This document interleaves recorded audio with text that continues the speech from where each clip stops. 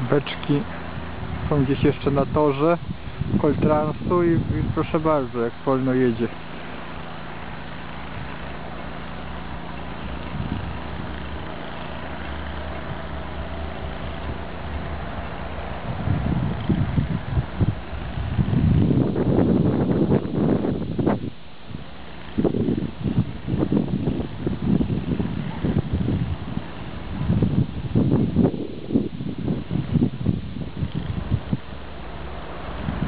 Już do Płocki dojechał. Kiedy jeszcze tutaj?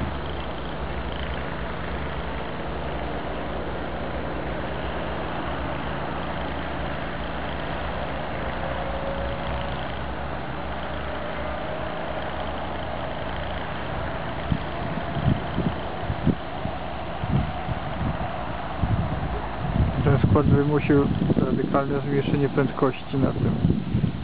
Też prywaciarz jakiś.